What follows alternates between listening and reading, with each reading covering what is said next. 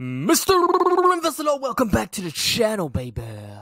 You are gonna love what I found. Shout out to all the cowboys at the ranch. Okay, so this video stems around a webinar which includes, you know, Illumina, Bionanogenomics, and a juicy government research program. Okay guys, I think you will like this video. Make sure you hit the thumbs up, hit the subscribe button. Please remember, none of this is financial advice. And if you like this kind of content, please join channel memberships. It's only 99 cents a month. Please support in any way you can. There's also a PayPal link in the description box below. You can send any amount. It really helps out me creating content. Straight in there like swimwear. So there was this webinar, I think it was in the early weeks of September or late August, and it says a new optimized microarray solution streamlines the cytogenomic analysis workflow across multiple applications. Within it, there's two main speakers. There's one Mo Serrano and then there's Daniel Soul. Moses Serrano is from Lineagen, he's the laboratory director. And with Daniel Soul, he's the technical sales director from Bionanogenomics. And check this out, before he joined Biodiscovery, he held several roles at Illumina, including product manager of cytogenomic solutions. So what Daniel Soul wanted to talk about during this, he wanted to discuss the design of Infinium Global global diversity array with cytogenetics 8-bead chip with the use of NX clinical software for data analysis. So as you guys know, about a year ago, Bionanogenomics acquired this company called Biodiscovery. Biodiscovery has this tool called NX Clinical. Biodiscovery says that NX Clinical is the most comprehensive and up-to-date solution for cytogenetics and molecular genetics in one system for analysis and interpretation of all genomic variants from microarray and next generation sequencing data. So why is this all important? Let's take a look at Illumina. So Sohl said with the design of of the Infinium Global Diversity Array with Cytogenetics 8 bead chip. We are now on Illumina's website. You can see in the top corner it says Illumina. We are on the product I just mentioned, the Infinium Global Diversity Array 8 kit. And when you take a look at this, if you're scrolling down, you can see the product highlights. And within the product highlights, you can see here, it was chosen by the All of Us Research Program. The GDA, the Global Diversity Array, is the commercial version of the microarray chosen by the All of Us Research Program. This program will engage 1 million or more volunteers living in the US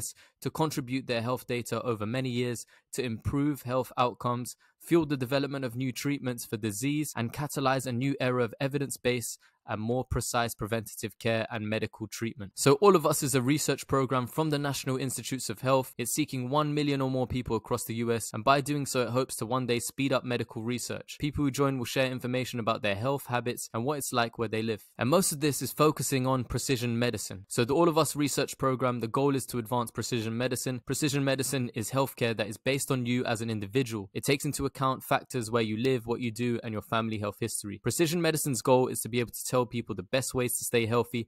If someone does get sick, precision medicine may help healthcare teams find the treatment that will work best. So now, if this is funded by the National Institute of Health, these guys offer many types of grants, contracts, and funding. So Bionanogenomics has this kind of link between, you know, this guy, Daniel Soul, who held several roles at Illumina, promoting the use of Bionanogenomics biodiscovery NX clinical software for data analysis, and Illumina's Infinium Global Diversity Array with cytogenetics 8-bead chip for a government funded project for 1 million people. So my question is, because I don't know this, I was looking for it and I was trying to find what different companies charge in terms of, you know, genomic analysis. How much does it cost for one genome, you know, in terms of genomic analysis run through the NX clinical software? How much does it cost to make sense of the data that you found from one genome and then multiply it by a million? Apparently, one of the main core values is diversity in this program as well, and they want the people to come forward. Implementation is for participants to reflect the rich diversity of the US. How much are they going to be charging for the genome analysis using NX Clinical for these 1 million participants? Is it $100 per genome? Is it $200? Is it $500? How much are they charging? And what's the margins looking like? That's my question. I'm not sure. I'm not sure how much people charge. I don't know how much they charge for NX Clinical. And they said this is going to be done over multiple years. But let's take a look down here. In terms of the GDA, it says here robust assay and high throughput workflow. Infinium LCG assay provides the capability to run up to 1,728 samples per week using a single iScan system. So once they run the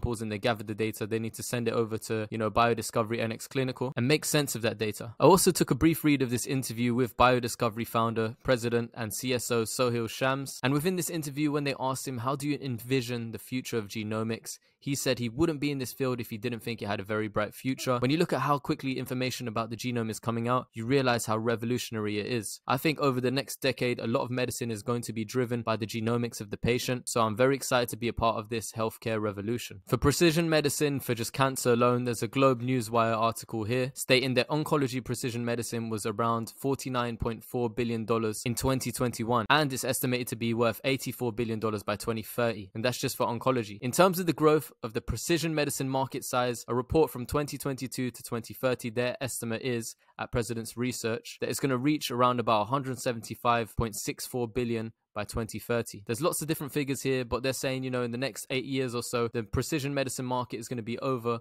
$100 billion. To help to be able to analyze and interpret all of this genomic data is an asset for bionanogenomics. Illumina continuing to win government contracts. I remember here in the UK, it says here over a year ago, David Cameron former prime minister, lobbied for Illumina, and some of the papers were coming out saying, you know, Illumina won this 123 million pound deal after David Cameron wrote a letter to Matt Hancock. Before he got fired or before he resigned, Matthew John David Hancock, a British politician, served as Secretary of State for Health and Social Care from 2018 to 2021. This guy removed himself or got fired because he was getting saucy and was caught on CCTV sharing a kiss with someone who is not his wife. Get down on it, bum bum bum, get down on it. Oh yeah, that's a lot of tongue.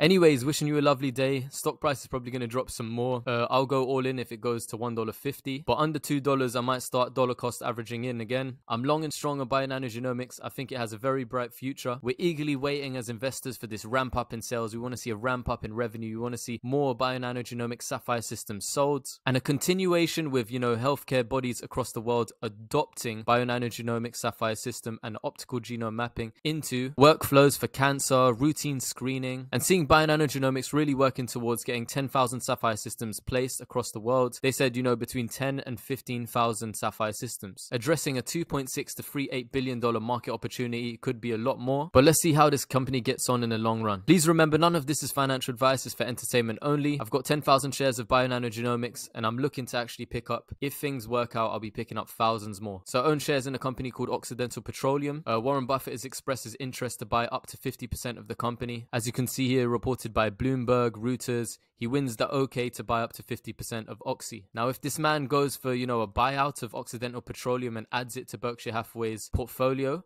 and keeps management in place. I don't know how he's going to buy out the rest of the public shares, if it's going to be in stock or if it's going to be mostly cash. If it's cash, I'll be loading up so many shares of Bionanogenomics. I believe that genomics is going to be part of routine screening, you know, it's going to be part of holistic healthcare. There are studies that come out talking about whole genome sequencing and genome screening at GPs are feasible. The UK remains committed to spending billions on, you know, improving diagnosis and personalized medicine. One of their other pillars is prevention and early detection. So overall worldwide they're spending billions and and investing into research and looking into genomics and embedding it into healthcare services around the world. Let me know your thoughts and feelings. Hit me with that thumbs up, hit me with the subscribe, drop me some comments down below. If you're able to support the channel, it really helps out. The lowest grade is like 99 cents and it really, really helps out. So thank you so much for all your love and support. Let me know if you enjoyed this video. As always, it's not financial advice for entertainment only. And I'll catch you in the next episode. Mr. Investor over and out, baby.